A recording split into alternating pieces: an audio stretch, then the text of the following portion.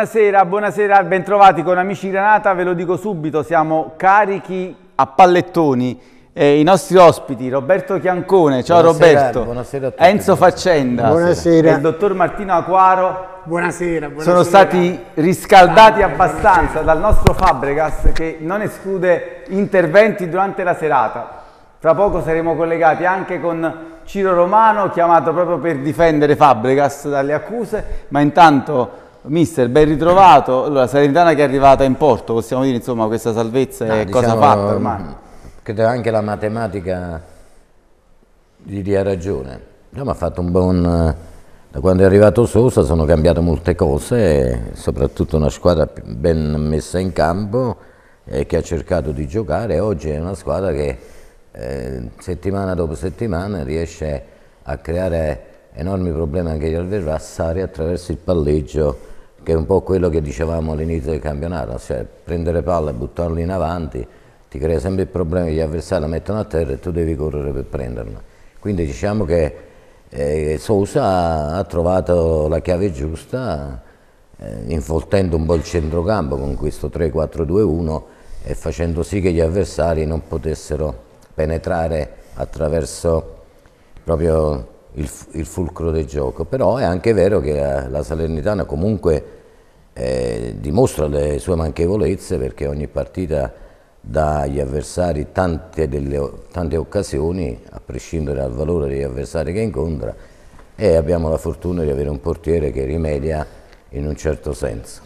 Quindi sono cose insomma, da, da valutare. Oggi la salvezza che è arrivata quasi, diciamo matematicamente, permette alla società di, di valutare bene tutte le cose e di prepararsi per l'anno prossimo. Ecco. E certamente, Perché insomma- comunque ehm, ci sono dei momenti della gara dove ci sono calciatori che si interta- cioè prendono palla e cercano di portarla. In Serie A è un po' difficile portare sempre palla, soprattutto a centrocampo, perché ti contrastano, ti chiudono le linee di passaggio e quindi poi diventi una manovra asfittica che resta fino a se stessa. E come uno fa il possesso, possesso palla, eh, il possesso palla è quello che effettivamente lo tiene solo uomo, no?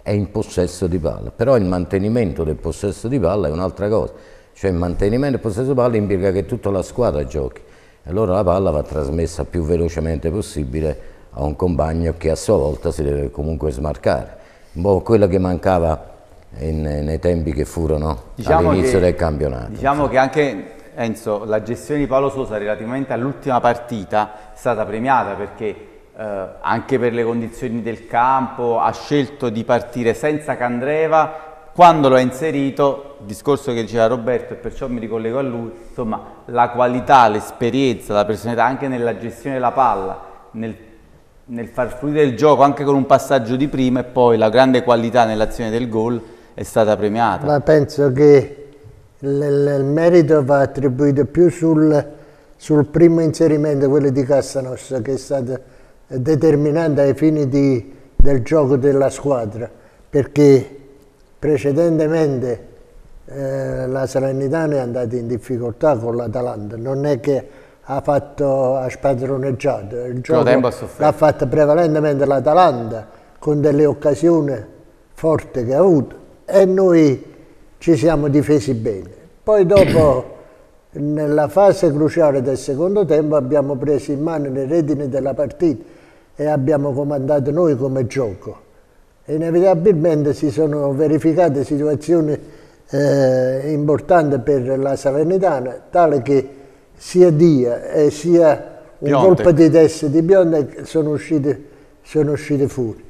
È stato un peccato proprio in quella circostanza. Poi dopo, successivamente, c'è stata la realizzazione della rete di Candreva che è stata l'apoteosi dello Stato, è stato il finale travolgente. Eh, poi no, ma, È ma- stata una cosa di, di stupenda che è grande difficile combinazione, da- anche Piontek che gli ha Ma stupendo anche perché poi gli di- avversari hai capito che non potevano più, Eh, eh, più rimediare, perché mancava poi, poco. dottor Aguaro, quindi- insomma, per un tifoso Martino, fare gol, alla, Martino, Marti- Martino. fare gol alla fine, Eh, fantastico. insomma, in qualche modo non solo è una grande emozione, ma anche, come diceva No, Enzo eh. come diceva Roberto, lascia poco tempo agli avversari e quindi Assolutamente. devi soffrire di meno. Poi fare gol sotto quella curva sud dove noi siamo sempre è qualcosa di, di spettacolare. E dall'inizio dell'anno che diciamo, ma perché la Salernitana attacca sempre sotto la curva sud all'inizio? Al primo tempo. Al primo tempo. di partite- Porta molto meglio quando attacchiamo al secondo tempo. Cioè, quando attacchiamo al secondo tempo la curva sud quasi sempre riusciamo a vincere. E infatti anche La questo- cosa strana è che lui ha chiuso a 9 minuti di recupero, a 9. Si parlava di 6, poi l'ha ci ha portato a stato il 9. gol, un po' di Vabbè, No, di poi ci ha portato a 9, che non è, non è una cosa di una certa linearità.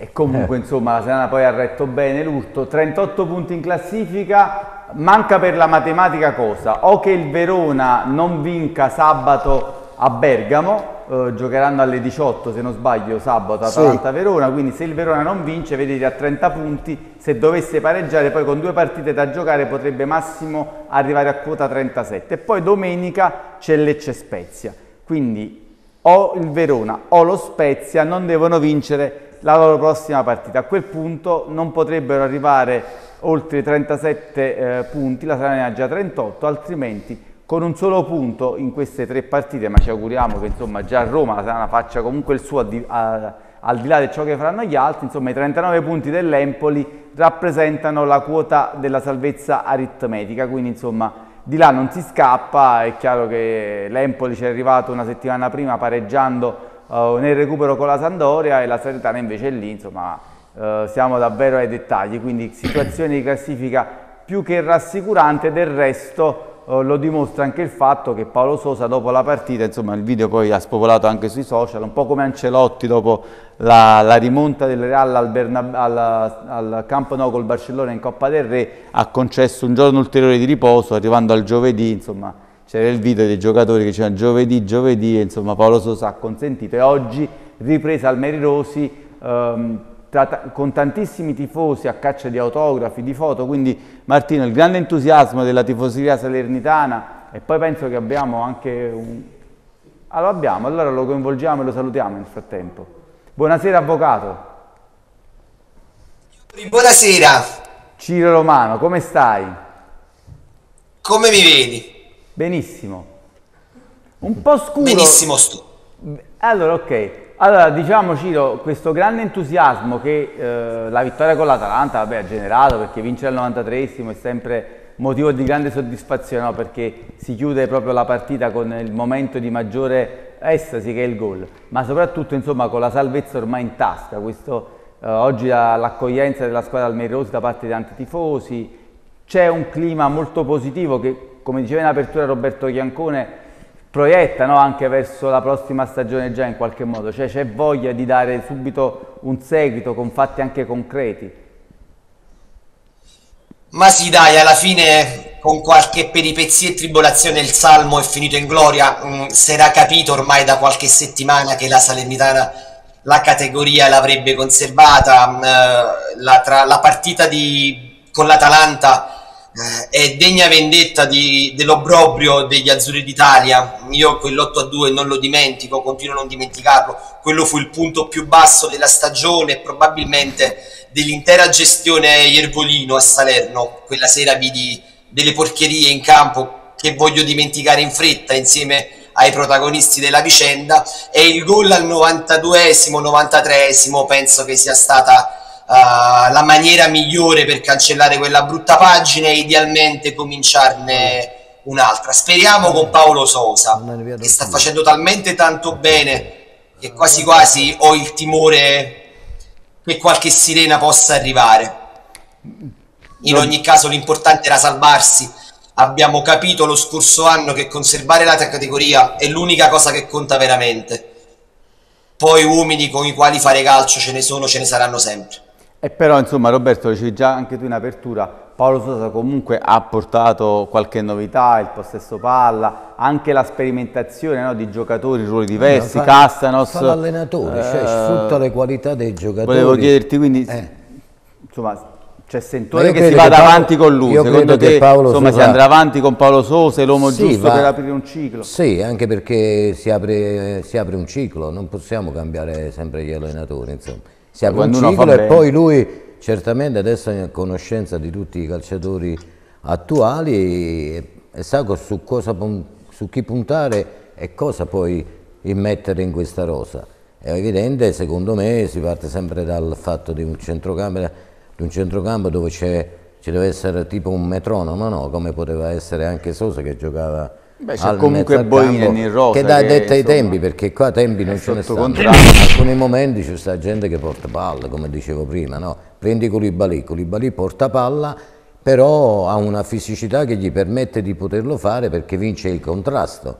Invece Vilena, Vilena ha fatto lo stesso anche nel, nel primo tempo ma ha perso dei palloni che si sono ripartiti sull'esterno a sinistra con dei cross insomma eh, che ci hanno messo in difficoltà eh, perché non ha la fisicità di Colibali. Allora queste, questo portare palla non, non, sta bene nemmeno a Sosa, perché Sosa era uno che giocava a calcio, non portava palla, la palla camminava, camminava, perché poi la palla, come diceva il vecchio Lidolm, non suda, quindi più la muovi e meglio è. E quindi poi, tu eri insomma, di questa teoria? Secondo insomma, me queste sono le cose. E poi prendere, perché Piontek comunque è un calciatore che si è impegnato moltissimo, secondo me una punta che abbia più spessore si, si potrebbe prendere, anche se questo ragazzo ha lottato tanto anche, perché anche le, anche devi vedere anche la qualità della squadra in cui stai. 7 milioni e mezzo e non Ma una squadra che non è che è propositiva al massimo sempre in fase offensiva la Salernità e allora lui è un, più un uomo di aria un uomo e mi meraviglia quello eh, di solito una punta che riceve quella palla non, non, fa quello scambio se non è una punta di un certo spessore. Eh, stiamo parlando di attaccante lo scambio, lo scambio tra Candreva e Piontek è stato bellissimo. Io pensavo invece quando ho visto, pensavo se la portasse verso l'interno per calciare, che può, poteva anche farlo, invece ha messo una bellissima palla. Insomma. Ah, è un'azione di grande qualità che testimonia no, Enzo, che comunque la Rosa ha delle risorse importanti. Adesso qualcuno magari non resterà a Salerno perché come nel caso di Piontek è in prestito, quindi il diritto di riscatto la Sema potrebbe anche non esercitarlo vista la cifra, insomma anche visto come diceva Martino uno stipendio importante perché quest'anno Piontek è arrivato a Salerno con l'ERTA che ha contribuito per il 50% al pagamento dello stipendio, cosa che nel caso in cui fosse riscattato il cartellino non avverrebbe eh, per il futuro. Però al di là del, dei, dei ruoli specifici, in genere quello che chiedevo a Ciro prima e che chiedevo a Roberto. Sosa è il fulcro del progetto, insomma, diciamo, che diciamo anche insieme a De Santis, perché è chiaro poi la squadra sta, la fa col direttore sta, sportivo. Stanno lavorando alla grande. C'è la sensazione e, che stiano già lavorando. Sì, e quello che poi per noi risulta estremamente positivo è il fatto che quei tre ragazzi che stanno in difesa eh. Uno 20 anni, l'altro 20, uno 21, Ochoa aveva più anni di tutte e tre eh, messi Sono tre, tre, ragazzi di, di, di, grosso spessore perché sia fisica che atletica che si stanno comportando molto bene nella categoria. E diciamo che il futuro può essere roseo per questi, questi giovanotti, così come abbiamo un gruppo di, di ragazzi interessantissimi. Fra l'altro, oh, Martino, ti segnalo i saluti da parte di Francesca Starita. Grazie. e quindi te li volevo recapitare. La sorella salutiamo, della compagna.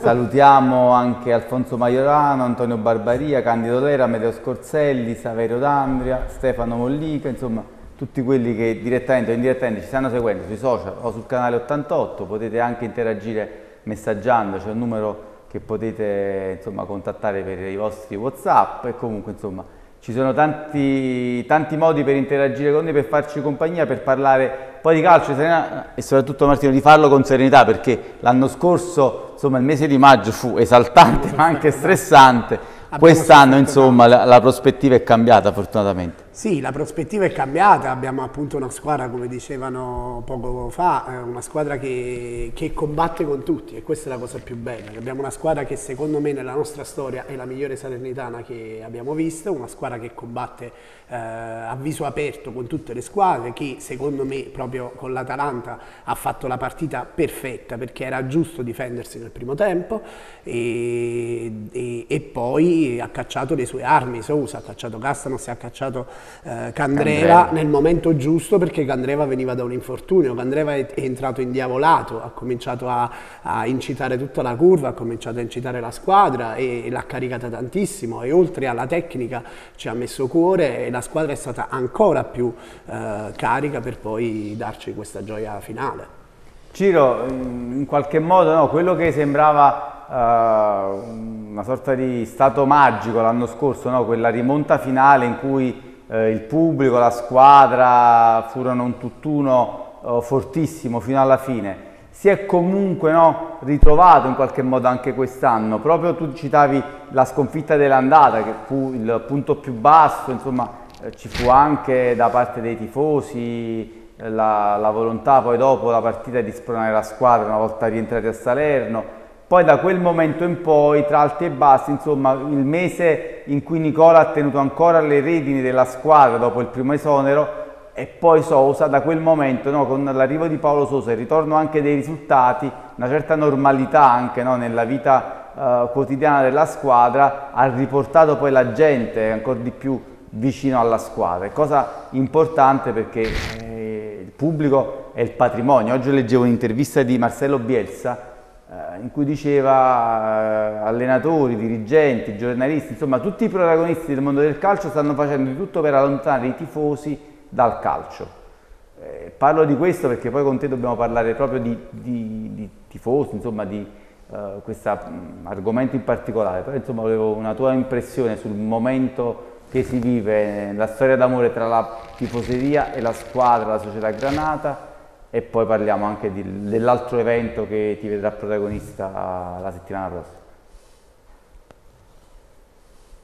I tifosi della Salernitana, la tifoseria intera, la piazza ha rappresentato l'ideale trade union rispetto all'anno scorso, non c'è stato neanche un minuto in cui uh, la tifoseria non abbia sostenuto la squadra, anche quando i risultati Uh, non ci davano ragione, ma questo mi sembra francamente normalissimo, accadeva agli anni prima, accadeva quando giocava Chiancone, perché non dovrebbe accadere ora in Serie A, voglio dire, mi sembra tutto quanto, tutto quanto nella norma. Uh, d'altra parte questa è una città che non trae il meglio dalla calma piatta e la stessa, la stessa Rosa probabilmente era particolarmente figlia di Nicola perché ricorderete quest'anno nei momenti topici della stagione quando veramente sembrava di stare con l'acqua alla gola che ne so, penso alla partita in casa col Verona o la stessa partita in casa contro lo Spezia oppure, oppure a Lecce. Ebbene quando stavamo un millimetro dal baratro cacciavamo sempre il guizzo che ci cavava dagli impicci poi tutto sommato la classifica quest'anno non ha mai fatto paura numericamente. Erano le prestazioni che a un certo punto erano in caduta libera perché è evidente che la squadra non seguisse più il vecchio allenatore. Io poi per mia forma mentis sono sempre contrario agli esoneri, mi piacciono sempre le stagioni che cominciano e finiscono con lo stesso allenatore. Pertanto non ho mai auspicato il cambio del tecnico, però oh, porca miseria, avevate Paolo Sosa per, tra le mani, magari, magari a fare un attimo prima. Perché poi questa era una squadra che i valori tutto sommato ce li aveva. Secondo me questa, questa posizione di classifica è la più veritiera possibile. I valori dell'organico della Salernitana, ad opinione mia che non ne capisco niente, la vedono superiore alle 5 squadre che stanno sotto ed inferiore alle 14 che ci stanno sopra. Ora siamo arrivati dove dovevamo stare, però tutto sommato soprattutto perché dietro hanno avuto un passo molto lento. Non è che siamo stati mai, diciamo così, particolarmente in pericolo. Eppure appena le fibrillazioni cominciavano, la squadra, così come la piazza, ha cavato, ha cavato sempre meglio. Ma guarda, a me non piace celebrare la curva, perché questa curva qui, che in Serie A ci ammirano tutti quanti, e che evidentemente non ci conoscevano prima, è la stessa, è la stessissima del Vestudi, è la stessissima degli anni della Serie B, quindi nulla di nuovo sotto il cielo di Salerno. Tra l'altro vediamo la classifica, eh, Roberto, per, integrando quello che diceva l'avvocato Ciro Romano, eh, la fotografia è perfetta perché ci sono cinque squadre che la Sanà ha praticamente staccato perché comunque Sì, anche Lecce è, è- a 6 Ce punti. n'è a cinque sotto. C'è l'Empoli che più o meno ha fatto il campionato in linea con quello della Serana, Sì, però, guarda, però poi c'è un divario con le altre. complessivamente Ti voglio superiore. dire una Esatto, cosa, però non possiamo. Com- non possiamo parlare di un... di- Vediamo un il Monza per esempio ha 11 punti in più. non possiamo parlare per il blasone anche di, di- diamo anche de- insomma, qualche merito passato alla Sampdoria, no? che Certo. è retrocessa perché La la, società non c'è. incappata nella Fai conto che la Sampdoria, che no, fai anche conto che la Sampdoria avesse fatto dei risultati e stava lottando, quindi si abbassa anche la media salvezza e quindi non puoi dire che la Salernitana meriti 38 punti perché potevano essere anche 32 e se la salva lo stesso. Però, diciamo, 30. Capisci? il fatto che Cioè, abbia è difficile 14 fare questa davanti valutazione. vuol A noi che- interessa che ci siamo salvati Certo. e che dispiace per la Sampdoria, faccio per dire, perché effettivamente eh, come società in- sottosopra, insomma non si capisce niente che chi comanda e chi non comanda. Però insomma è evidente che la Salernitana poteva, può lottare anche con l'Empoli e così anche con l'Udinese, perché non ci dimentichiamo, l'Udinese ha fatto una partenza così sparata a un che certo punto primo, secondo in se avesse continuato Andava in Champions. no, vinceva il campionato, secondo me è una cosa incredibile, no? Poi invece ha mollato, mo si è ripresa an- ancora, ha- ha fatto un ciclo, eh, a- diciamo, degli alti e dei bassi. È chiaro che la partenza eccetera. sparata, no? Però la partenza ti sparata, quella- ti, ti trovi ti ad affrontare l'Udinese che parte Esatto. sparata, e quello sparato e quello sparato, tu rischi di, di metterti sotto come poteva Eh, capitare. Nelle primissime giornate la Sanana era tra le poche che non avesse Senti, io sono stato qua quando hanno esonerato il mercoledì Nicola, poi l'hanno ripreso il mercoledì sera, non si è capito là. E io lo dissi chiaramente, non- queste cose non esistono. Perché perde l'allenatore, perde insomma, la credibilità La dalla squadra.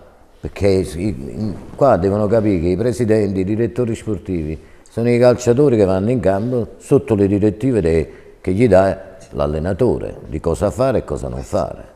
E quindi eh, che loro fanno queste cose, manda allenatore, piglia allenatore, poi alla fine ah, i calciatori eh, capiscono tutto e semmai... Però diciamo che con Paolo Sosa poi è arrivata la svolta. Prendo spunto da un messaggio di Antonio Barbaria che dice città da comune da terza categoria. E in effetti no, sabato alla Rechi tutte le pecche legate a viabilità, eh, a stadio scoperto, eh, ambiente abbastanza difficile in cui vedere una partita per oggettivi motivi e Martino annuisce perché anche lui ne sa qualcosa come Ciro, insomma sabato Martino No, eh, insomma faceva acqua da tutte le parti lo stadio Arechi, non solo lo stadio ma anche le strade limitrofe perché eh, guardare praticamente un fiume per raggiungere l'auto è qualcosa che uno stadio di Serie A Ma questo non, Questo non facciamo il all'uscita, fatto che- ma già non è colpa del comune. no, non è colpa No, eh. Perché scusa, chi prevede tutta questa pioggia? la tu la pioggia- prevedi?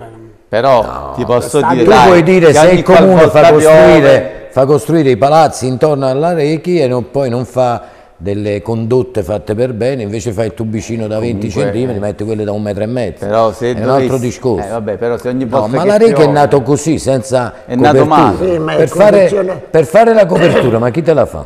Eh, 35 milioni. atmosferiche hanno inciso tantissimo. però dai eh, Cioè, io ti che voglio anche dire- chi sta al coperto in teoria Senti, ma noi si bagni perché ma piove se anche facciamo settori una coperti. curva si paga già, quando si paga? Io non lo so nemmeno quando si paga perché non ci vado allo stadio. Quando si paga? 40 Ma, eh, euro. no di meno mi pare insomma No, penso qualcosina in più. Io ho l'abbonamento, ma dipende dalle partite. ultimamente No, 18 diciamo 20, che 25, 40 dai. euro ma comunque Io ti faccio, ti copro, chi lo coprirà non lo so, la società Quando, sì, eccetera.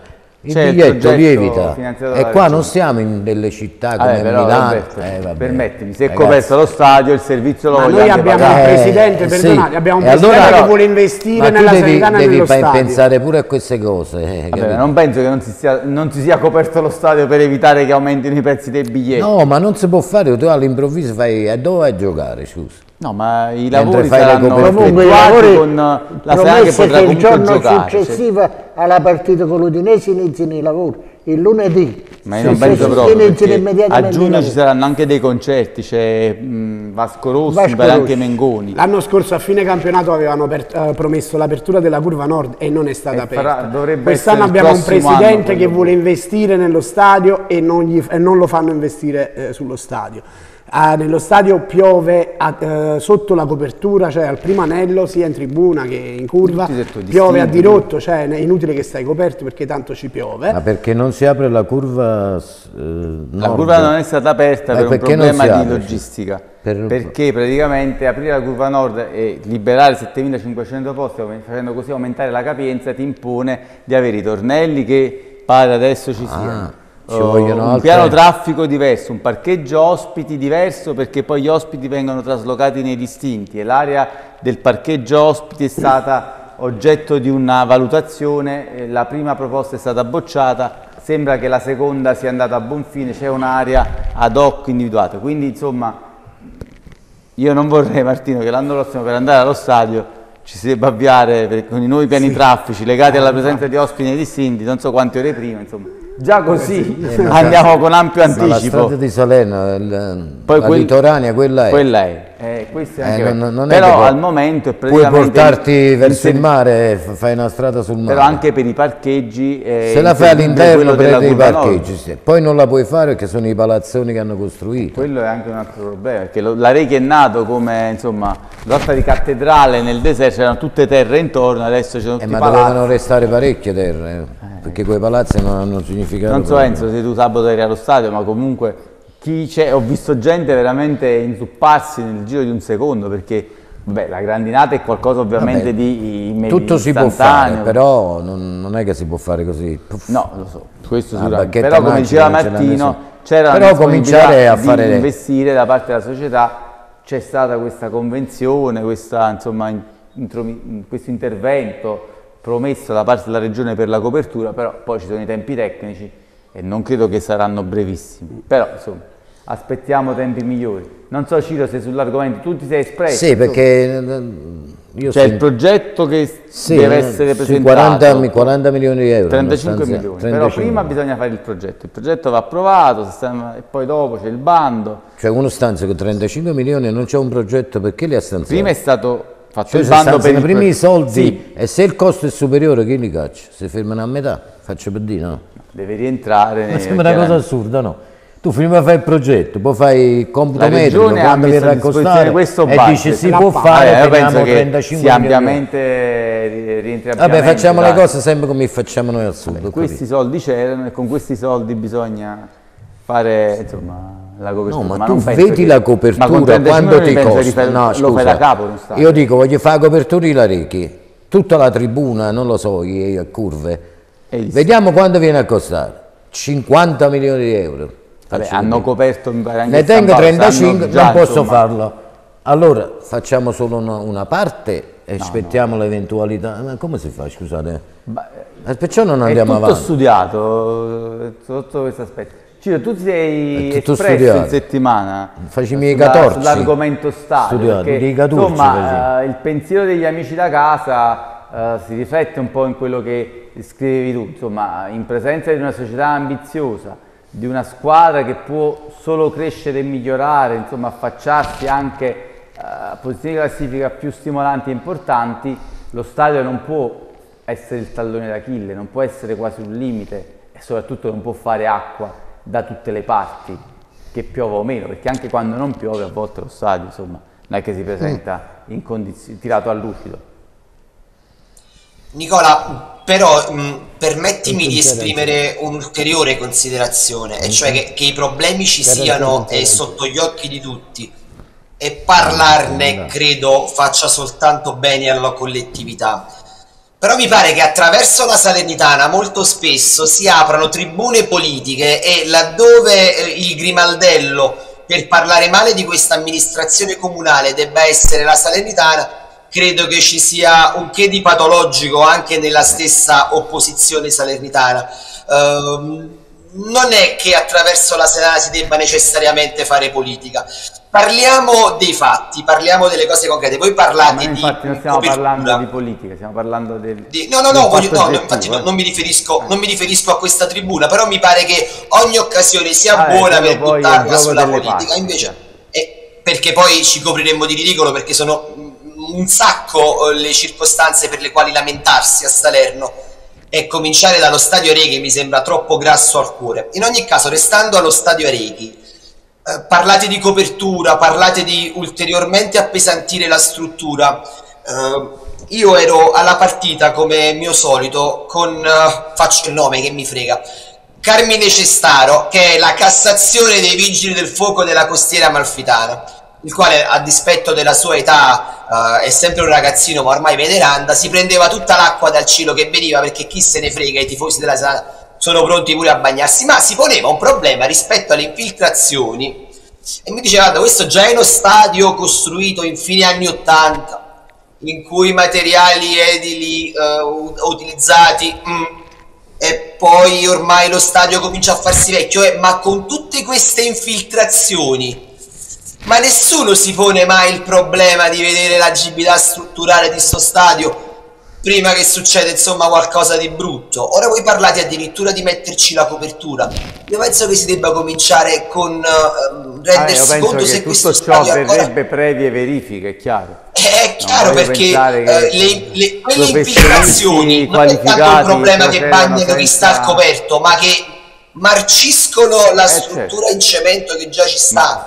No, io penso che nei 34 insomma, milioni sia compreso adeguare eh, lo stadio, che, adeguare lo stadio certo, in modo che non abbia perdite, renderlo, in modo che sia stabile eh, prima certo. di fare una copertura. Questo è l'obiettivo principale che, del progetto. Ecco, rendere lo stadio uno stadio moderno, uno stadio europeo è stato accettato che sia uno stadio europeo dalla UEFA, ma rendiamolo davvero uno stadio europeo. luoghi di tecnici esterni che hanno sempre dato parere positivo, quindi credo che queste problematiche siano canto, legittime, ma al tempo stesso sia stato già insomma, verificato lo Stato, altrimenti insomma, non si può pensare di aprire una curva nord, di portare la capienza a 34.000 perché a prescindere dalla copertura se tu porti quasi 40.000 persone allo stadio e non sei sicuro dello stadio, insomma, sarebbe follia. Quindi credo proprio che ci siano stati tutti, insomma, siano stati rispettati tutti i parametri, però è un problema che giustamente eh, ci si deve porre anche in prospettiva, perché poi non è che uno È chiaro che non deve piovere in testa a coloro i quali pagano il biglietto e devono stare al coperto, ma mi sembra pleonastico, cioè non dovremmo neanche stare qui a raccontarcelo. È chiaro che uh, le pozzanghere fuori non dovrebbero esserci, è chiaro che il piano traffico non può essere quello che è, tutto quanto bisogna, bisogna migliorare perché stiamo in Serie A. Però io onestamente quello che ho visto domenica, sabato, uh, vabbè che è venuta giù un'acqua che neanche i monzoni, vabbè, però mi ha fatto un po' impressione, cioè le infiltrazioni che una volta erano un po' fastidiose, adesso eh, sono torrenziali, sono cascate. Quindi io voglio dire, dico occhio, prima di parlare di rendere lo stadio ultramoderno, vediamo che sia sicuro perché a me tutta quell'acqua che filtra e permea nel cemento non piace affatto. Eh certo, questo sicuramente, questo sicuramente. Eh, è chiaro che anche questo va sottolineato. È vero, come diceva Roberto Cancone, che ha fatto qualcosa di incredibile, però è anche vero che eh, Purtroppo il, il meteo, il clima è cambiato, vuoi non vuoi, insomma, siamo di fronte a una fase di cambiamento climatico anche estrema e lo dimostra il fatto che ieri insomma, facesse anche abbastanza freddo a quest'ora, oggi la temperatura è radicalmente cambiata e domani salirà ancora, quindi nel giro di due giorni si passa da una sorta diventando di... africani. Eh, appunto, Consideriamo anche che l'asse terrestre va a spostarsi sempre di anno in anno, eh, qui, non soltanto l'inquinamento, eh, perché noi parliamo di inquinamento, ma c'è anche questo motivo eh, che è la eh, natura, no, eh, che fa che, che la terra si l'asse non è più... Ogni spostamento, io non sono del mestiere, creerà dei problemi sicuramente. Quindi dobbiamo insomma adattarci anche ai cambiamenti climatici e quindi pensare, De Laurentiis l'altro giorno suggeriva di giocare da aprile ad ottobre. Però ti dico una Eh, cosa, tu- se Facciamo giocare con questo, 40 gradi, Tu se non vedi, lo so. vedi la Rechi, per esempio Salerno di solito si allagava un tempo, no? Quando scendeva l'acqua da via principale, io mi ricordo che no- i nostri tombini sempre otturati, invece ha mantenuto bene. Pare che tra i problemi quindi, per cui le strade intorno alle righe si, all- si allaghino è perché E si allagano pochi, perché sono, sono non pochi si tombini, neanche le pendenze Poi c'è una pendenza che porta l'acqua verso lo stadio dalla via principale e forse ci sono anche pochi tombini per Appunto, ma far drenare. dren- Quando per costruisci anche un palazzo, le pendenze vanno fatte bisogna- che vanno via dal palazzo, non è che l'acqua non- che piovana va non dentro si al può palazzo. pensare che le persone insomma debbano Vabbè, ma questo è facilmente stivali, Si fa l'asfalto, si alza un po', eh, per l'anno prossimo no? Se ne va nei- Oh, nei di nuovi tombini. stivali che ci porteremo quando vediamo che il tempo è un po' più così insomma però cose che in Inghilterra non succedono perché Fabregas quando va in trasferta in Ma Inghilterra in Inghilterra è diverso, le società bellezza, la- sono quasi, quasi tutte le società hanno il loro stadio di proprietà, è un po' diverso. Ecco. Eh, certo. E quindi io non so se è fattibile un fatto di chiedere in proprietà la Rechi, chi lo può chiedere? Devi Ah, pagare. Napoli aveva la, conces- la concessione ti non posso è dare una data, concessione? non eh, l'hanno fatta hanno ma fatto una concessione che tu ti tieni, eh, ma vabbè, ma ti tieni lo stadio, ma che ci fai? fare delle migliorie metti, per sfruttarlo- metti le migliorie e poi... No, è una Eh no, concessione eh, di però se 30 vuoi portare le 40 migliorie, avere sempre la tu possibilità di la tua-. Eh, Ragazzi, non è facile. eh. Io, vado, io sono Roberto Giangone, vado presidente della Salernitana, vado lì e chiedo eh, l'uso dello stadio per 30 anni. Quello che ha 40 fatto anni, no? Iervolino. Poi che succede? Mi dai cosa a me? Io non sarò più presidente. È arrivato presidente che tu, se vuoi, chi dai un mio campo, no? Noi ci stanno cose una- serie, c'è ma una noi- la facciamo semplice la cosa, ma non è così come dite voi. Perché non è privato. Perché l'Inter non si piglia un campo? Ma vabbè, lì a Milano c'è una questione aperta da anni, insomma le due società stanno provando a fare uno stadio da qualche Eh, altra parte, ma con Ma grandi difficoltà. proprio vicino alla- al San Siro, vogliono fare il campo nuovo. Ciro. O no? Non è facile, eh, non è facile. Sentivo Roberto voleva- Chiancone si è avventurato in un dribbling di quelli che faceva lo stadio Vestuti quando dava la palla a Zaccaro. In realtà la, No, un dribbling, in ma la verità, concessione- la verità- in realtà la concessione non la non farebbero bisogna- agli Iervolino che poi se la tiene in perché qua- tasca e la mette appesa al muro. No, la senti, farebbero alla Salernitana e la erediterebbe l'eventuale altro proprietario. Ciro, scusami, tu hai detto Preferivo una cosa. Chiancone con il numero 9 a fianco a Tinti e Zaccaro. Ciro, ti voglio dire una cosa. Tu hai detto non, se- non ci serviamo dei tifosi per fare politica, giusto? Del tifo, della squadra, eccetera. Eh, i politici Ma in questo, caso, in questo caso, se uno continua a dire che bisogna comprare, aggiustare lo stadio, eccetera, comunque è una politica questa, si accusa comunque qualcuno. E non mi sembra No, giusto. quello, no, quello è, quello è eh, invocare un diritto della cittadinanza ad usufruire di Ma un bene vuoi, pubblico ma in maniera il- decente. ma noi vogliamo che il sindaco di Salerno e tutti quelli che vengono a controllare la- se il campo è agibile, che vengono dalla Lega, non, non guardano le cose. Le guardano perché poi se succede qualcosa le responsabilità sono chi firma le carte. eh. Sì, ma di che le stiamo tragedie parlando? le sappiamo, possono di cosa? succedere. Mi sono perso. Ma non è che uno firma una cosa per Comunque adesso vorrei portarvi su una questione eh, legata più al mercato, al futuro tecnico della squadra. Allora vediamo questo servizio e poi lo commentiamo.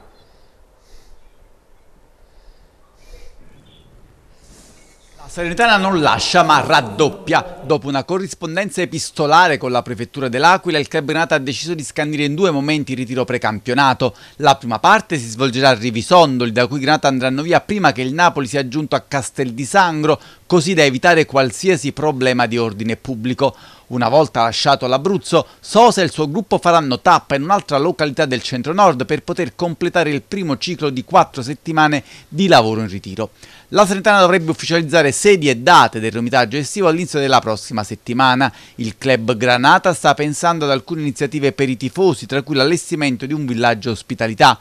In ritiro salirà un gruppo con qualche faccia nuova, il mercato è di fatto già iniziato. La Salernitana si appresta a riscattare Dia, seguito da tutte le big d'Italia, Juve compresa. Il club bianconero potrebbe mettere sul piatto Filippo Ranocchia, centrocampista molto gradito a De Santis, che al Monza ha giocato poco, sicuramente molto meno di Rovella, che piace tanto al club Renata e che tornerà a Torino, magari per restarci. Chissà, l'Inter che accoglierà Sepe potrebbe mettere sul piatto Pirola e magari qualche altro giovane promettente per Dia.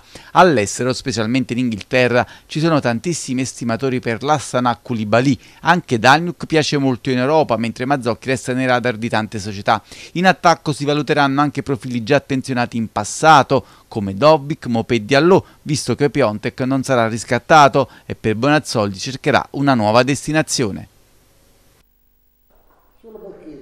Allora, mercato che già si infiamma intorno al nome di Dia, insomma Martino, da tifoso penso che come tutti ti augureresti di tenerlo ancora, però poi c'è la parte no, imprenditoriale, societaria, le valutazioni anche in base alle eventuali offerte, si parla sì, di Inter, di Juventus. Dia verrà sicuramente riscattato per 12 milioni e se ci arriva un'offerta di 30 milioni assolutamente penso che sia giusto darlo, prima di tutto perché non è un ragazzino, comunque fa 27 anni l'anno prossimo uh, e, um, e, poi se tu prendi 30-35 milioni con Dia puoi investire in qualcosa uh, di, di, buono, penso. Ovvio che mi fa piacere. Chiedo scusa un attimo ma i 12 inseriti?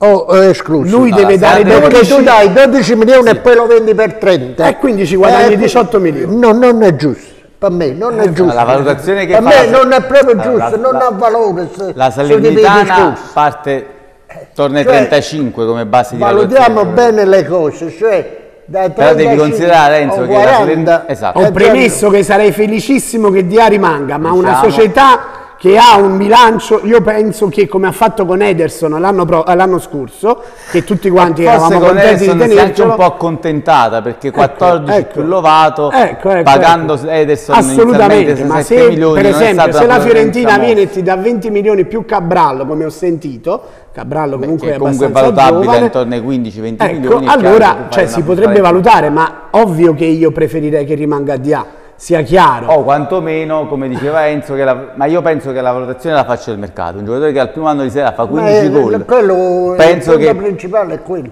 Va sui 35, diciamo quasi 40 milioni. Tecnico, fermo restando che non è giovanissimo a, a perché ha 27 anni. E lo staff tecnico decidono le sorti di questi calciatori con i vari procuratori. Non è che noi li dobbiamo escludere quei soggetti là, che si siedono a tavolino e discutono e valutano attentamente le cose, perciò bisogna rendersi conto se i 35 o i 40 valutabili di questo calciatore è giusto o da, da valutare con la Poi, massima chiaro, attenzione. Se ti arriva a 20 gol può essere che Comunque il prezzo salga ancora. in queste no? cose. Eh? Se il mercato eh, ti fa offerte 25, 25, 25, bisogna comunque venderlo che l'anno dopo non è che questo ti fanno altri 15 gol. Non sei sicuro che renda uguale, quello eh, che penso che possa fare 20 quando stare l'anno prossimo. Perché poi nella storia di questo DA quante volte ha fatto 15 gol, 13 no, gol? Eh. Beh, lui aveva fatto un'ottima stagione in Francia da 15 gol, poi è andato al Villarreal dove ha giocato anche meno, ha giocato più da esterno, ha fatto 5 gol più un gol in Champions al Liverpool, comunque entrava in una rotazione di attaccanti di un certo livello. E da se Giume ci fai caso, quando a Salerno fa... gioca esterno con Piontek non rende come quando gioca a punta centrale. A Salerno quando gioca con Piontek, Dia è molto difficile che segni. Aiuta la squadra, però... Eh... Già con Butaim ha avuto più possibilità poi giocando da punta centrale. centrale però insomma Ciro Dia è comunque un giocatore che la Salernitana ha preso con una grande intuizione di mercato perché il Villarreal lo aveva messo oh, ai margini, è chiaro il prezzo complessivo sarà di circa 13 milioni perché c'è stato un milione per il prestito e 12 per il riscatto, però insomma al di, al di là dell'investimento complessivo di 13 milioni credo che il valore sia quasi triplicato, insomma parliamo di 35, 36, 37 milioni di euro, quindi insomma una plusvalenza importante potrebbe poi aprire scenari di mercato intriganti. Al tempo stesso insomma tenerlo vorrebbe dire anche eh, dichiarare ambizioni esplicite, no? di una crescita con parte di questo gruppo partendo da un giocatore che è certezza, perché yeah, dopo 15 gol in Serie A possiamo definire una certezza. Ma qualcuno ci ha parlato col suo procuratore per Eh, capire più o meno che aria tira? dichiarazione il procuratore l'ha rilasciata, insomma, fatto capire Io che non vorrei che ci sono delle eh, Bulaedia. Bulaedia era un calciatore, si è capito subito, assolutamente sovradimensionato rispetto al campionato che doveva fare la Salernitana. È un calciatore che con la parte destra della classifica non c'entra niente credo sia venuto a Salerno per essere sicuro al 100% di andare al mondiale, cosa che poi è stata. Mi auguro che tra le parti, cose che accadono nei meandri del calciomercato, non ci siano stati già degli accordi per cui il calciatore si libera comunque a certe cifre che costituirebbero comunque un guadagno con la sana, ma prima di dire 35, 40, 45, innanzitutto vediamo se c'è qualcuno che te li offre. E poi capiamo che accordi ci sono dietro, perché poi vedi, i calciatori sono uomini, eh, fanno giocate, i numeri sono un'altra cosa, pure Lovato è stato valutato 7 nell'affare Ederson, ma chi di noi avrebbe mai speso veramente 7 milioni veri per comprare Lovato? Quindi le dinamiche del mercato non le comprendo fino in fondo, non è materia mia, però prima di, prima di, fare, prima di sparare cifre, insomma, valutiamo effettivamente gli accordi quali sono e quali saranno le offerte. Poi, oh, se mi chiedi cosa vorrei, vorrei che Dia non fosse ceduto, che restasse qua per altri 5 anni. Eh beh, chiaramente, insomma, è l'auspicio di tutti, soprattutto perché Dia, come dicevi, insomma, è un giocatore che la partita la, la, la orienta, Beh, la porta dalla sta tua parte. si vende Però è chiaro anche che presidente lo vende subito non se lo accompagna Beh, io lo insomma, il accompagnerei presidente Ederson come dite voi 35 pensare. milioni di euro io piglio sotto il braccio andiamo giovane e lo porto Eh, è come penso che- io io da- ho fatto pure l'allenatore 35 quando il milioni, ragazzo Polino ci diceva fa "Bue Brusco". va", che voleva andare via io dicevo ma ti accompagno io lo dicevo poi invece è rimasto e ha fatto bene capito? Eh, vabbè, è normale che tu lo vendi per 22 milioni poi. Eh. 35 lo vendi per 22 milioni perché 12 li hai recuperati. Eh, certo. È chiaro. Eh, vabbè, è chiaro che si parla comunque di un giocatore di 26-27 anni, ormai i grandi club vanno sui 2004, sui 2003, quindi prendere un 96, insomma... Ma i grandi permette- club, guarda, i grandi club di Fabregas in, in Eh, in Inghilterra, Inghilterra, fanno in Spagna, giocare Real Madrid ha già preso un giocatore di 17 16 anni dal Palmeiras, Ma da noi chi fa giocare? Ma chi gioca da noi? Da noi sono tutti stranieri, non vedete? Un sedicenne italiano non giocherà mai, mai. Può giocare in, in squadre come... eh, vedi, la Vabbè, Salernitana sta facendo però, mi- mi fra tre anni la Salernitana lotta per la Coppa UEFA, per la Coppa dei Campioni, non lo so. Però vanno, vanno questi ragazzi, Lovato è comunque andato a Pirola- Cagliari in un disastro totale Però è retrocesso pure ha giocato. però ha giocato sempre Ha giocato. in nazionale io l'ho visto ha sempre l'Under fatto 21 la sua partita l'Under 21 e quindi eh, Io penso che è vuoi stato dire? penalizzato vuoi dire che tu vieni qua iniziale, poi prendi un un ragazzino e lo d'adattamento, metti a perché- centinaia di difesa dove prendevano pallate da tutte le parti no? e poi dopo mezz'ora 40 minuti mi prendi e me lo togli ma quello lo stava distruggendo psicologicamente a quel ragazzo ma oggi sto ragazzo invece piglia la palla, la gioca, si fa vedere, è cattivo, è più determinato. Invece prima, io ho visto quella partita che abbiamo fatto, che era la Cremonese, Sì, prese il che, ha colpo che testa. il secondo tempo è stato sostituito. Sì, ma quello era un disastro, ho detto ma come fa a giocare a calcio questo? Cadeva da solo, Mm. perché l'allenatore, il Nicola, non Nicola tu, gli metteva faccio una allenatore. tensione tale a questi calciatori, Jomberg, Sepe voleva dare la palla a Jomberg, Jomberg faceva no, non me la dare, ma prende la palla, la fa giocare, è l'allenatore che ha capito che Jomberg comunque ha delle qualità, perché per me è un- è uno dei migliori, migliori marcatori a uomo, quello non ti fa prendere una palla, sic- sicuro. Però si deve adattare che il gioco è cambiato, fa girare la palla. la palla. Jomberg gioca centrale nella Salernitana, prende la palla, fa girare, ha da dietro al portiere con una disinvoltura. Che significa? Chi gliel'ha un All'improvviso è diventato uno scienziato. Tranquillità. C'è stato È un la lavoro psicologico anche sul l'allenatore che incute tranquillità e caccia fuori le potenzialità fuori. dei calciatori, perché se no questo qua avrebbe fatto gli stessi Ma punti che faceva Pirola, Nicola. che dopo la C'erano delle la potenzialità inespresse dove un allenatore, io lo continuo a dire, che i difensori e le punte e anche i portieri sono gli allenatori più scarsi. Gli allenatori più forti al mondo sono i centrocampisti, ma chiunque mi può dire che non è così, ma io se faccio la statistica vedete che è così, ma che a dove stanno questi difensori che fanno i grandi allenatori? Ma nelle categorie inferiori. Ma io so, noi parliamo di Vabbè, Serie A. Ancelotti, Guardiola erano centrocampisti, Chiancone Ma era noi stiamo parlando di Serie A, anche in Serie B, ma non ce ne sono calci- allenatori, Allenatori. fortissimi. Beppe Guardiola è un centrocampista, o no? Vediamo. Capello è un Lidl era un centrocampista, centrocampista. Allegri è un centrocampista.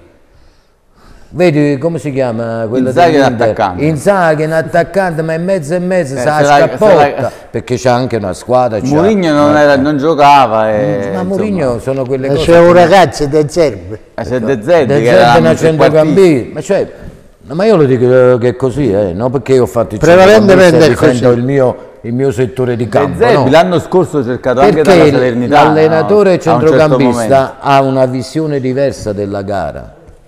Spalletti gi- giocava con Ventura nell'Entella, non so se facesse il centrocampista Spalletti partiva, da difensore, poi un po' il mediano. Ha sì. giocato con Ventura all'Entella, poi insomma è andato anche a all'Empoli, Empoli. sì. Sì, ma era più difensore, non era... Trapattoni era un centrocampista sai, a beccato quell'epoca, io, quando- quando giocava lui il centrocampista il, del mediano poteva fare proprio un difensore che legnava, cattivo, tignoso. Conte l'ho- era un centrocampista, Antonio Conte. Chi? Con Antonio Conte. negli anni 70 Senti, ma stai parlando di una cosa che io, io dico da, da una vita. negli anni 70 io l'ho incontrato. L'unico allenatore che ha fatto, eh, voleva fare, eh, Dino Zoff.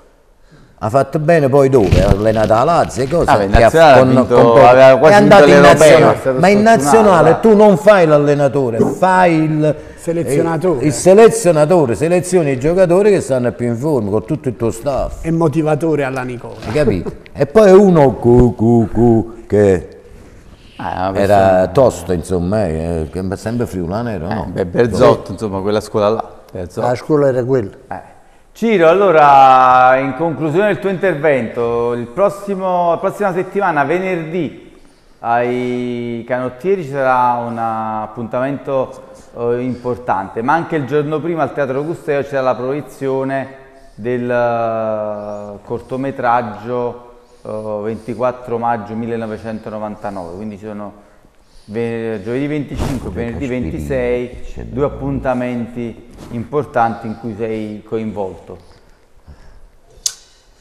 Sì, il, 20 il 25 maggio al Teatro Agusteo il comune di Salerno presenta sostanzialmente il cortometraggio di Fernando Inglese che ripercorre la storia del treno che tornava da Piacenza. E poi il 26 invece l'Institut Français che è diretta emanazione dell'ambasciata di Francia in Italia e cura gli eventi culturali della stessa, in occasione delle Olimpiadi di Parigi 24 ha intrapreso un giro per il mondo nel quale saranno toccati temi per i quali il- lo sport ha incidenza nel sociale e quindi in Italia hanno inteso parlare di pubblico. Hanno scelto Salerno proprio perché ai loro occhi, e questa è una circostanza che dovrebbe inorgoglirci, ai loro occhi è la città che più incide con la propria passione popolare sui risultati del campo e sulle classifiche.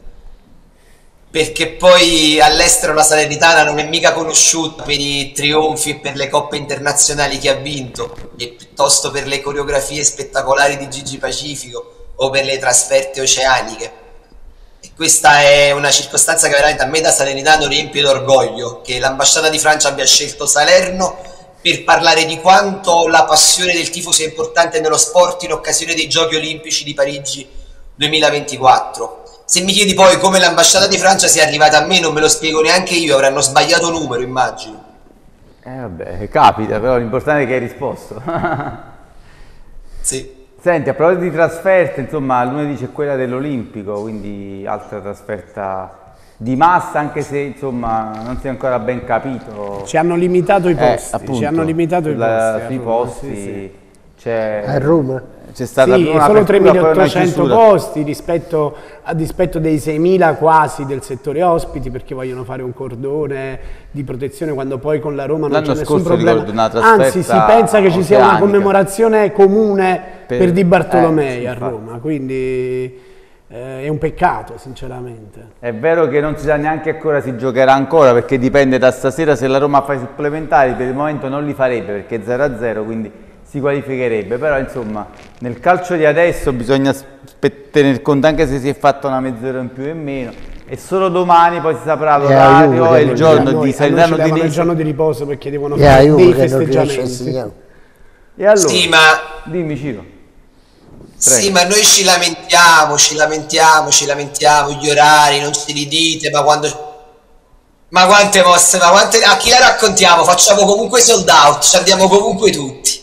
E quindi alla fine, insomma, forse... Però certo sarebbe stato più bello avere la possibilità, come diceva Martino, di avere anche più posti eh, disponibili nel settore eh, ospiti. Eh ragazzi, ma la Roma fa sold out sempre, quest'anno ha destinato meno posti agli ospiti in tutte quante le partite, lì hanno creato un'alchimia Uh, i Fredkin con il, con il, pubblico che veramente non c'è un biglietto disponibile mai è vero, ed è anche è corretto che prediligano i, settori, i, i tifosi locali rispetto agli ospiti comunque la scorta di 3.000 e passa biglietti non è banale oh la esauriscono con la Salernitana guardate che di solito non li vendono tutti eh. Eh, infatti, anche insomma, sia abbiamo esaurito la in passione, ore, la vicinanza, in quattro ore, in quattro ore con la sono Roma stati polverizzati. L'altra volta Grazie Ciro, allora presto abbiamo perso vedremo 2 a questi 1. due Vincevamo eventi 1-0. che ti Eh. Ah, con Rossi coinvolto, il signor avremo Roberto modo. Ragazzi, un 1-0. attimo, voglio salutare un attimo Ciro, fatemi salutare Ciro. Ciro, grazie ancora. Buona a serata. te di avermi invitato e agli ospiti studio della bella compagnia Ciao. ciao, Ciro Ciro, piacere. Ciro a papà Ciao, ciao. belli Allora, io andrei anche in pubblicità perché siamo No, stavamo già- dicendo, Nicola, stavamo dicendo che la Salernitana con Delio Rossi, se non sbaglio, Eh, però giocava vinceva 1-0 e poi Segno perse solo, 2 a uno, il sì, primo gol 3 in. Serie A. la- Però la quella era una squadra, è una squadra che giocava. Vabbè, giocava. ma là fu Però Ma noi se oggi Fusco. se do- Vincevamo 1-0 lune- poi fu- se Ma lunedì- fatte cose ma se lunedì riusciamo a fare il gol noi non facciamo mica come a Delle Rossi Non lo prendiamo poi il gol. no è perché Delle Rossi attaccava sempre voleva fammi vincere andare in 2-0, pubblicità, fammi andare in 3-0. Pubblicità. Pubblicità, pubblicità. Una rimessa laterale là.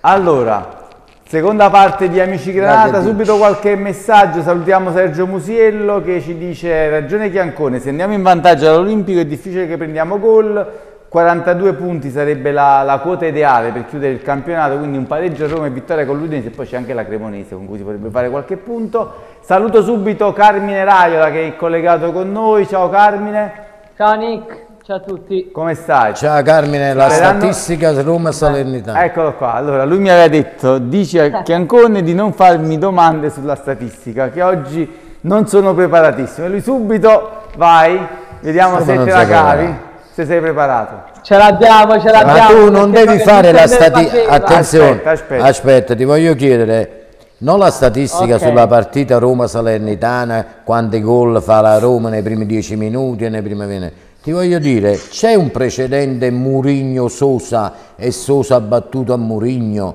c'è stata qualche partita o no? Sì, mister. E certo tu ridi che c'è scusa ma non ha mai giocato Sosa contro Murigno? con la Fiorentina ci avrà giocato non lo so io No, non penso, perché Mourinho ha allenato l'Inter. No, Mourinho stava a Chelsea, dove stava? No, Non no, hanno l'anno mai giocato. È arrivato con... Eh, È non un c'è- derby e c'è sempre una prima volta è che Mourinho perde con portoghese Sosa. che si consumerà all'Olimpico per la prima volta con attenzione la Fiorentina in vantaggio vedi nominavi la Fiorentina peraltro si affrontano Basilea e Fiorentina che sono due ex squadre di Sosa questo lo sapevi? Sì, anche il Benissimo. Basilea Che grande. nonché ex squadre entrambe perché di 1-0 Salah. basta la Fiorentina. si va ai supplementari Mannaggia, allora 2-0. Ah, 1-0 per cominciare come direbbe Bosco meglio pareggiare Gioco Saponara. Ma perché non dire. hanno fatto una U? 2-1 ha perso la Fiorentina in casa Ha perso in Al casa. novantesimo. per io- Allora Carmine, tra l'altro non so se stai seguendo un po' la Roma, Sì, sì, se ci puoi aggiornare succede? sulla prestazione Hanno della fatto Roma con nove l'Everkusen, come sta andando, perché cosa sta facendo. So che sta si 0 a scopre 0, però Sì, sì, 0-0, però per il momento il puro Leverkusen riesce a resistere, la Roma sta attaccando. Ah, quindi la Roma sta comunque attaccando. Tra l'altro giocano Belotti e Abram, quindi doppio centravanti. Esatto, doppio centravanti per, per Murigno. E proprio perché oggi le statistiche ho voluto fare un po' di pretattica alla Sosa ti ho voluto un po' sviare perché le statistiche oggi sono proprio su Roma Salernitana e sono su aspetti credo importanti e ti dico la verità, ho visto una Salernitana che regge molto il confronto con la Roma. E vai, dacci qualche dalle input. statistiche. Perché la Roma e la Salernitana tirano praticamente eh, lo stesso numero di volte mediamente a partita, la Roma 12, la Salernitana 10. Numeri invertiti invece per rapporti tiri gol, cioè la Salernitana segna più volte della Roma, 12% la Salernitana, la Roma 10%. E poi un altro dato, e questo è curioso, la maggior parte delle zone d'azione per Salernitana a Roma è a centrocampo e anche qui il dato è più o meno equivalente, 45% la Salernitana, 46% la Roma. Quindi insomma, cosa significa Roberto? Che a centrocampo Si equivalgono. Ma sì, ma la Roma non, abbia- non ha dei centrocampisti. Sì, perché a Matic è un sono giocatore bravi, certamente. tattico, non diciamo hanno- così, Wijnaldum non l'ha hanno quasi mai avuto. La, la capacità di dribblare un avversario, di venire dentro, giocano Cristante un lineare, giocatore però sono precisi nei di passaggi, sono anche fisici, sono Sì, abbastanza gravi. molto fisico. Quindi eh, questa che la Salernitana penso che con i nostri che sono più, più reattivi, diciamo, potrebbero metterli in difficoltà. bisognerà capire se per esempio lunedì Martino giocherà di Bala, che Certo. mh, oggi parte penso dalla panchina perché non ho visto di Bala nella formazione titolare, penso sia in panchina, però è un giocatore che certamente sposterebbe, no? La Roma sicuramente non è nel suo periodo migliore come uomini e quindi sta, concentrando tutto, sta concentrando tutto sulla- sulle- sull'Europa League. E adesso vediamo prima di tutto se si qualifica per la finale, perché se si qualifica per la finale io penso che eh, per noi forse sarà un pochino più semplice, perché comunque non Intanto hanno tante risorse, che non hanno tanta panchina. Spinazzola perché è stato Eh, sostituito da Non Zaleschi. hanno tanta panchina. Spinazzola si è infortunato, no Carmine? Perché è stato sostituito poco fa da Zaleschi. Sì, Zaleschi è entrato. Quindi, non hanno tanta panchina e soprattutto hanno perso sicuramente, credo, le speranze per la Champions. Sì. Penso che in Europa League ci potrebbero andare abbastanza Sì, dentro l'Europa League perché ha 8-9 punti sulla Fiorentina, Sì, ecco, ma quindi per la Champions, Champions, tranne penalizzazioni della Juventus, non Veramente credo che la Roma dovrebbe essere difficile, certo, Quindi insomma è una squadra che Ma poi dipende, dipende si sta da concentrando cose. sulla L'Inter Coppa. che vince, vince la Coppa dei Campioni. Faccio La Roma può andare anche in Champions, se La vince l'Europa vince League il suo campionato, vince League, vince. la sua Coppa. Eh, la Fiorentina Se vince la, la sua Conference Coppa, va in Europa che Abbiamo più squadre da, da portare in Europa. Certamente non possono essere più di tante, eh, perché Sempre c'è- sette devono essere, C'è un limite, quindi è inutile dire. Non possiamo andare tutti in Europa, però E se vanno tutti in Europa, la Salernitana va pure in Europa. Tra l'altro, penso, questa è una statistica che deve, in cui mi deve C'era la bella Intertoto, c'era l'Intertoto, C'era facevamo la Coppa Intertoto. che assegnava un altro posto, no? Cioè, l'Udinese e la Juventus passarono per l'Intertoto quando c'era questa Coppa. Ma se non ricordo male, ci fu un anno in cui le squadre italiane erano anche più di sette in Europa ed è l'anno successivo a Italia 90, perché nel 90 la- l'Italia vinse le tre coppe, con eh, la Coppa Campioni con il Milan, la Coppa delle Coppe con eh, la Sampdoria e la Coppa UEFA Sì, con sì, la Juventus. 1991. Nel 91 mi pare che in Coppa ci fu anche il Bologna che giocava, quindi si Sì. arrivò ad 8-9 squadre se non sbaglio, tant'è che il famoso mercoledì di Coppa di Fantoziana Memoria era qualcosa di straordinario perché si giocava praticamente. Però erano tutte allo stesso tutte orario. mercoledì dalle 2 del pomeriggio a mezzanotte, non, insomma, non si, non si facevano i compiti. Cioè, e, e quindi si vedevano le partite, però insomma adesso non è più possibile perché poi il, il paradosso qual è? La Champions gioca una semifinale al giorno, poi Europa e Conference League giocano tutte allo stesso orario quattro partite, quindi di cui tre con l'italiana in campo, per cui insomma devi fare un po' di zapping. E eh, Ya, chiaramente questo zapping è finali, penalizzato tre- dalla presenza di Amici finali, Granata che toglie di- audience alle coppe perché ovviamente, sono stanno tutti tutti qua. felizzati a vedere Amici Granata. Possiamo fare quattro finali. Quattro finali. Quattro perché quattro finali? Sono tre coppe. Come sono tre coppe? Champions, Europa League e Conference. Ah, Juve e la Roma fanno la stessa Eh, finale. già- fanno la la Juve e la Roma fanno la stessa finale. Che peccato sì. per la Roma. Allora andiamo a vedere le possibili Perché scelte di formazione. Ecco. Vediamo un po' questo servizio Ecco. su Paolo Sosa in particolare, visto che si parlava di allenatori portoghesi. Così nel frattempo ci avviamo anche verso la conclusione del primo tempo delle partite della serata. Vediamo questo servizio e poi lo commentiamo insieme.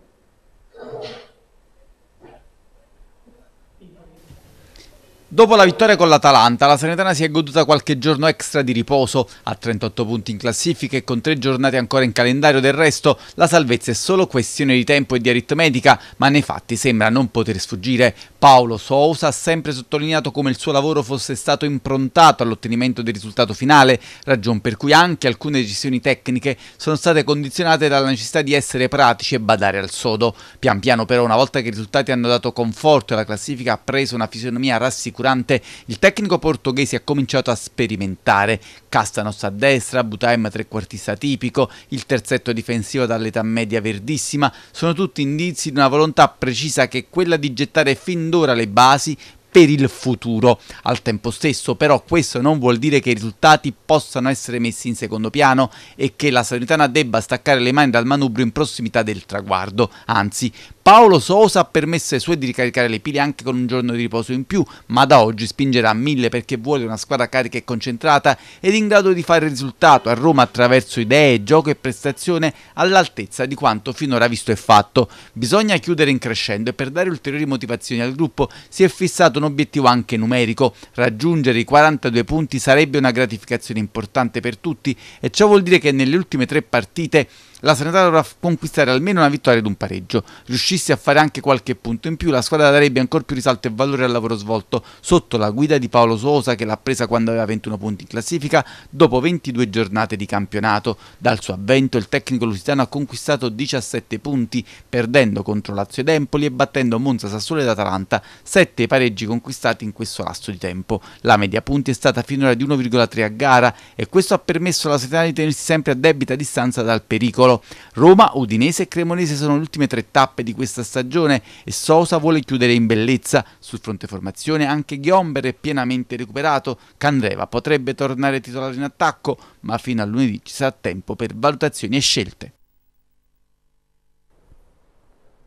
Siccome noi siamo precisi, siamo, sono andato a trovare l'anno 90-91, otto squadre italiane nelle coppe. Milan e Napoli in Coppa Campioni, Juve e Sampdoria in Coppa delle Coppe, Atalanta, Inter, Roma e Bologna nella vecchia Coppa UEFA, quindi c'erano otto squadre italiane in Europa, ora il massimo è sette, altrimenti insomma avremmo potuto addirittura superare questo limite.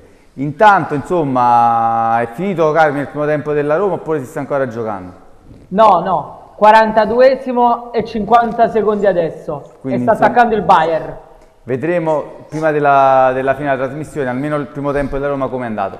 Martino, insomma, al di là delle coppe in cui sono coinvolte queste squadre, il sogno del tifoso è quello di arrivarci in Europa. Certo, è ovvio che quello è il sogno più grande, è quello che, che speriamo tutti, che un giorno speriamo arriverà. Ci sono arrivate squadre di città molto più piccole di Salerno, quindi non vedo perché non potrebbe succedere. No, la Sera ha fatto l'angolo italiano qualche anno fa, no? Eh, no, no, il torneo anglo italiano. Eh, Io direi, direi un paio d'anni, ci facciamo un anno di assestamento. E poi magari... e insomma, poi magari... Eh, beh, Sosa comunque, eh, Roberto, diciamo il servizio ha anche già sperimentato, cioè la, le scelte di Sosa sembrano improntate al realismo, al pragmatismo per fare risultati, ora anche un po' in proiezione futura. Però in una sua intervista, in una conferenza stampa post partita, Sosa, facendo riferimento al modello Ajax, che più volte ha citato Iervolino, ha anche detto che insomma, lavorando, perché no, non, si può anche arrivare a pensare di sbarcare in Europa, quindi c'è una prospettiva. Sì, vabbè, ambiziosa, certo, magari dirti, ancora a medio-lungo termine, non dietro l'angolo, per carità. Io prima ho detto con Sosa, ma Sosa ha, non ha fatto nient'altro che tirare fuori le potenzialità di questi calciatori. E c'è ancora da lavorarci, come dice lui, no?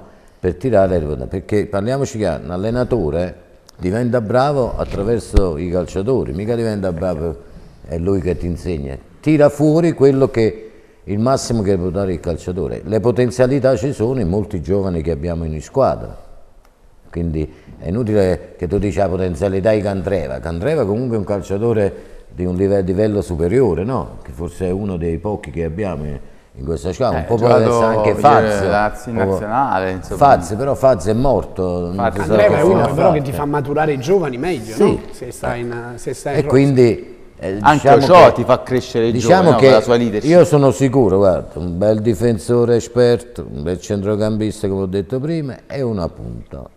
E poi lasciare i tasselli, ovviamente, se poi vai via Dia sei costretto Eh, a cambiare va po' via tutto. Se parte Mazzocchi devi prendere un altro Eh, esterno, se Bonazzoli, parte- Bonazzoli non si sa più, che fine ha fatto? Mazzoli, insomma, eh, Sosa ha detto chi ancora diventare il nostro. Chi l'ha Sinceramente non ho ancora capito Come? Boteim quanto, quanto può valere. La forza di Boteim Boteim? io non l'ho ancora capito. Sosa ha detto una volta di Bonazzoli potrebbe diventare per noi quello che Orsolini è per il Bologna, però deve insomma capire Eh, come porsi, come proporsi in campo, facendo capire che insomma c'è da È difficile. gomitare un po' di più. Insomma, È difficile, forse- caratteristiche diverse. sono due sinistre, ecco, qua c'è Caratteristiche e carattere. Carattere, Caratteri bravissimo, diversi. carattere. Questo ragazzo Io penso che non- non- è difficile caratterialmente. Mi sembra strano. Le, le qualità ce le ha, i colpi Senti, ce li ha. io però ti dico una cosa, quando è venuto Sosa, questo ha... quante partite ha fatto? Uh, È partito titolare con la Lazio tempo, e Torino poi tutto il secondo tempo. Non ha avuto Allora tante occasioni, dire, però forse non le ha neanche meritate. che durante la settimana Eh, eh, lui non fa quello che vorrebbe che l'allenatore dice che speriamo che si impegni. O comunque ha Non fa, caratteristiche perché che se non no si sposano con una squadra che deve giocare no- un certo modo. non lo mette mai in campo.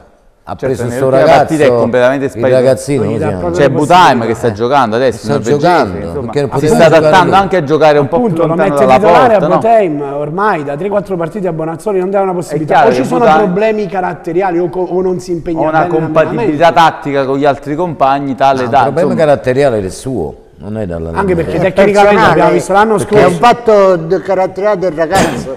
Sì. che pensa Non dipende dall'allenatore. Sì, che, sì. che su Bonazzoli fa quello perché, che sa fare. Perché tecnicamente l'abbiamo visto l'anno scorso, ci sta, cioè è un giocatore che Questo è uno potrebbe dei dare. giovani che era più promettente Eh, nel calcio certamente è l'esordiente più giovane nella storia dell'Inter in Serie A, quindi non si sta parlando di un giocatore Cioè, scarso, oh, tutt'altro, oh, cioè, di un ottimo giocatore, un potenziale grande Guarda, calciatore ha fatto 11 o 12. che l'anno scorso ha fatto 10 gol in Serie A, quest'anno 10 ne ha fatti due Eh, ed non era l'anno in cui doveva consacrarsi anche perché era stato acquistato a titolo definitivo, c'erano tutte le componenti, no? le, le premesse perché una società che ti acquista a titolo definitivo, ti riconosce un bel contratto, ti dà fiducia, poi è chiaro, come dice sempre l'avvocato Ciro Romano che è stato collegato con noi nella prima parte, Bonazzoli è finito mentalmente nel momento in cui a Bologna si è seduto in tribuna accanto a De Santis Piontek appena acquistato nell'ultimo giorno di mercato lì forse il giocatore ha compreso che la società aveva ulteriormente alzato no, il livello, l'asticella, prendendo un giocatore che comunque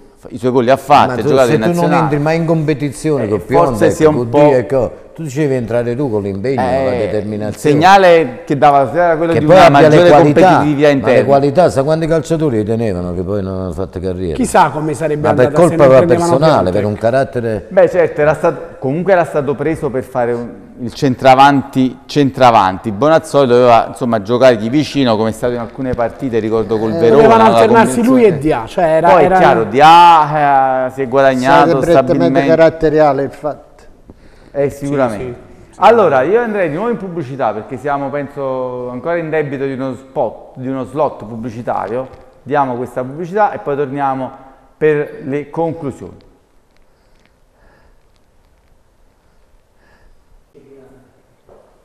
Qui ci vorrebbe una camomilla invece del caffè, no? Perché abbiamo il nostro assistente di studio scatenato. Comunque, tornerei da Raiola per una chicca finale, perché Eccomi. siamo in conclusione di questa puntata Ok. scoppiettante, fuori e- in onda e fuori onda, vai. Sì, perché sia Roma che Salernitana attaccano più sulla corsia destra, quindi per capirci, Mazzocchi per la Salernitana e presumibilmente dopo l'infortunio di Spinazzola Celic per la Roma, 42% la Salernitana, 37% la Roma, si equivalgono negli attacchi a sinistra, 34% la Salernitana con Bradaric, 35% la Roma con Spinazzola, adesso credo sia Zaleschi o il E Shalawi si per- recupera. Sì, al Sharawi, esatto. Mentre per vie centrali Granata 24%, la Roma 28%, anche qui quindi c'è una bella equivalenza. Salernitana che quindi regge, come detto, il confronto. Ma a livello di gol, quando è che la Roma segna più gol? Hai fatta questa statistica? In quale, No, la- la in Roma, quale diciamo che- sesto di Sui calci piazzati, Sui calci io. piazzati, sta messa bene, calci Bagnez, Cristante, e soprattutto nell'ultimo quarto. Eh, vedi? Sì, la Roma del è primo tempo e la Salernitana ne, ne subisce di più e quindi deve stare molto attenta. Insomma, Martino, Eh. quindi sai già, insomma, quando concentrarti di più. L'ultimo quarto, l'ultimo terzo. L'ultimo quarto di luce. l'ultimo noi quarto abbiamo d'ora fatto del un bel po' di gol Ah. nel finale di partita quest'anno. Sì, anche eh? la Roma ha questa tendenza a fare gol Sì, sul sì. finale, anche perché è spinta dai tifosi, al di Tiene- là della tiene- proposta tiene a di Mancini gioco. che fa certi gol. Mancini, ma anche insomma, io penso che la chiave della partita potrebbe essere la presenza o meno di Dybala, perché al di Eh, là di vabbè, tutto ovvio. Si parlava prima di, di dribbling, è chiaro che Dybala è uno di quelli che eh, se sta bene dribbla Salta eh, parecchie uno, salta volte l'uomo, eh, eh, eh, che rompe le linee no? con un dribbling, perché poi non è solo i passaggi, rompono, saltano le linee. Se c'è il giocatore che te le salta col dribbling, 3-4-2-1 con Pellegrini e Dybala dietro la punta. Potrebbe, insomma. Oggi stanno giocando Belotti e Abram, fanno- quindi bisogna vedere chi fanno- sa- i superstiti anche di questa trasferta in, Ma, in ma terra bisogna vedere la tedesca. Roma poi come si presenta. Poi bisogna insomma. vedere, io penso che se la Roma sarà qualificata per la finale Qualcuno ci sarà una sarà molto più rotazione, voglio dire, insomma. Anche se la finale è lontana. è il 2 lontana, 2 però mi mi pare si gioca il, Il- il, eh, il 7 di giugno.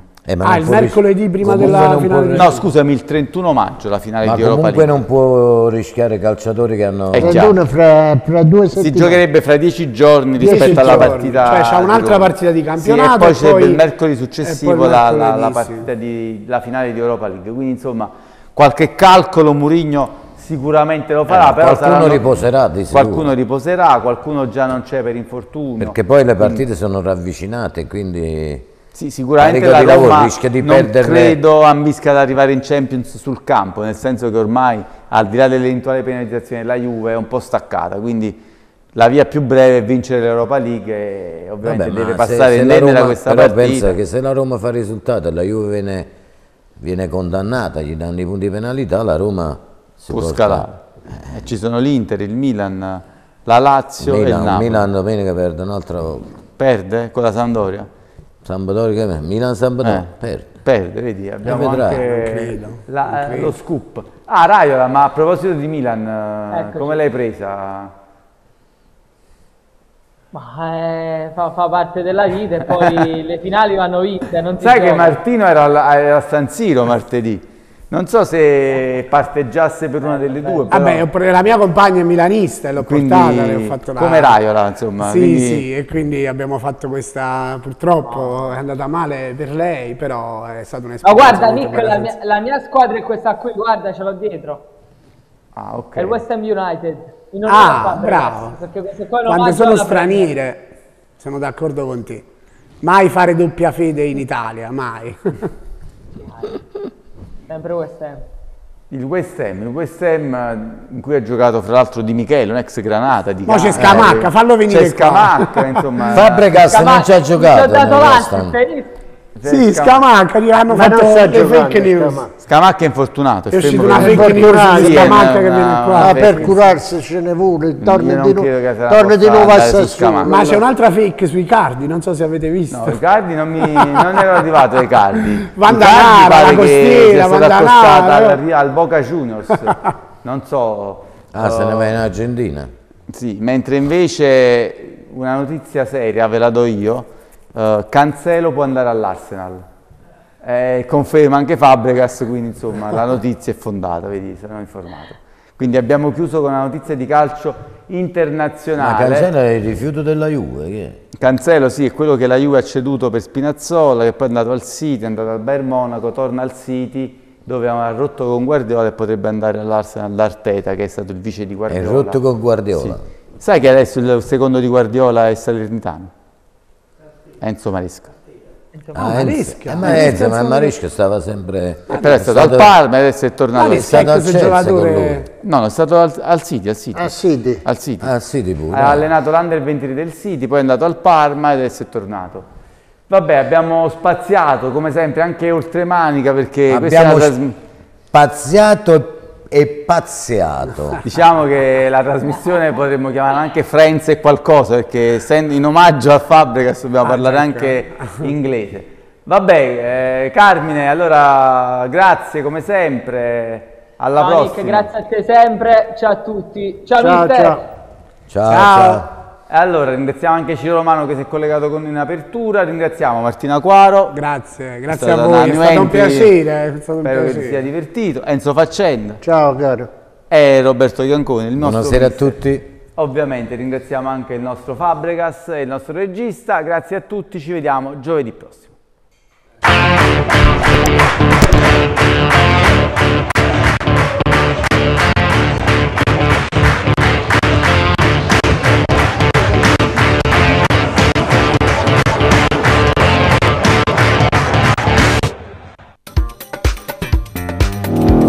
Vuoi rivedere questo programma? Visita il nostro sito tvoggisalerno.it e clicca su TV Oggi On Demand.